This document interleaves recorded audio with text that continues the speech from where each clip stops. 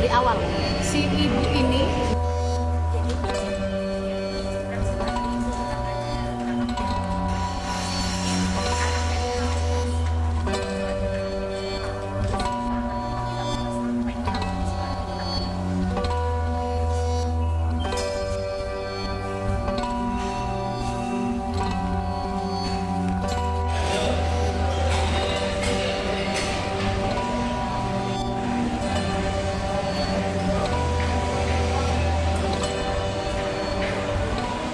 Si ibu ini di uh, telepon dan di WA sama tetangganya. Terus kemudian apa disuruh cabut uban Ah. nah terus kemudian datanglah si ibu ke rumahnya si tetangga tadi untuk melakukan cabut uban si anak ngomong mami saya haus. Nah si ibu ini bertamu di rumah tetangga jadi tidak bisa dong pulang untuk ngambil air minum. Mintalah sama tetangga pemilik rumah gitu loh. Ada air minum nanti am, bude ambilkan. Bude itu tetangga tadi. Terus diambilkan air yang di dekatnya si ibu tadi. Diminumkan ke anak. Nah setelah itu reaksi daripada si anak malamnya dia tidak tidur. Terus kemudian dia hiperaktif ngoceh terus eh, keluar keringat sejagung-jagung dan dia eh, apa dia eh, mengambil barang-barang yang ada di sekitarnya kayak bersih-bersih dan sebagainya itu.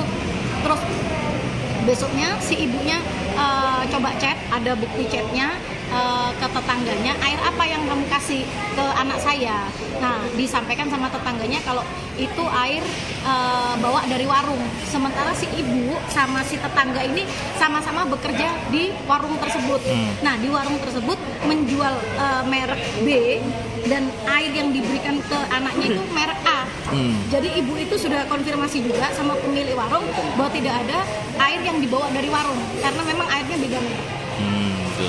Nah, setelah Eh, kita jelaskan bahwa pertama ibu ini sudah coba untuk eh, komunikasi dengan BNN sebagai orang awam.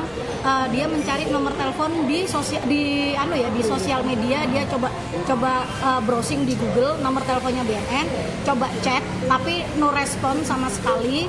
Terus kemudian eh, ibu ini eh, datang ke TRC ya, datang ke TRC, kemudian dibawa ke salah satu rumah sakit, terus di rumah sakit tersebut dites urinnya dan ternyata positif, lalu si anak ini masuk rumah sakit, terus kemudian eh, ibunya bersama tim TRC datang ke Polres untuk melakukan eh, pelaporan awalnya, namun pelaporan itu masih masih belum berupa LP, jadi mungkin bagi teman-teman Polres karena ini rancu ya ada dua hal PPA perlindungan perempuan dan anak atau narkobanya.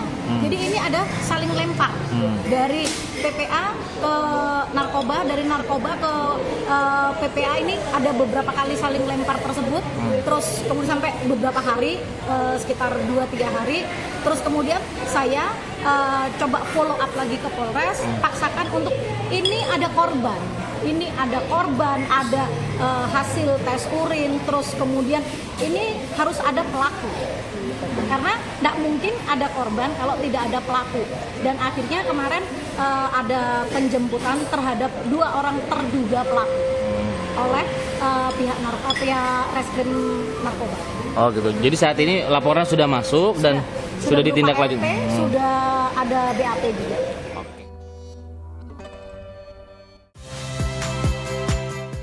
Saya Niluh Puspa. Saksikan program-program Kompas TV melalui siaran digital, pay TV, dan media streaming lainnya.